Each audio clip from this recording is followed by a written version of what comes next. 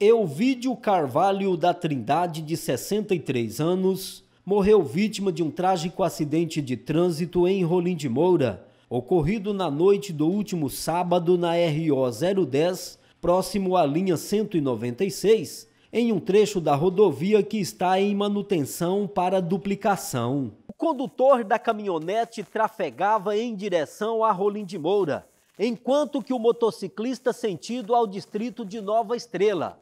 E o motorista da caminhonete informou à polícia que o condutor da motocicleta teria avançado a contramão e ele ainda tentou desviar, mas não foi possível evitar a colisão. Com o impacto, Elvídio sofreu múltiplas fraturas e o corpo de bombeiros chegou a ser acionado e compareceu ao local do acidente, mas constatou que a vítima não apresentava sinais vitais.